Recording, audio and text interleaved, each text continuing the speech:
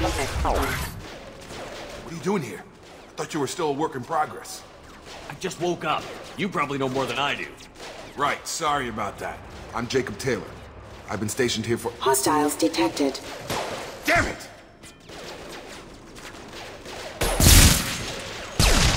Things must be worse than I thought if Miranda's got you running around. I'll fill you in, but we better get you to the shuttle first. It's your station, Jacob. I'll follow you. First step, let's finish off these metal bastards. We're low on thermal clips, but I'm a biotic. Just give the order when you want me to hit them with the good stuff.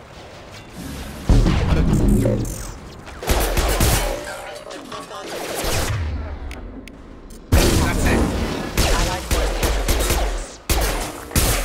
Falling back. Ready to get the hell off this station? What's the quickest way to those shuttles? Depends where the mechs are thickest. It's probably best if we... Check, check.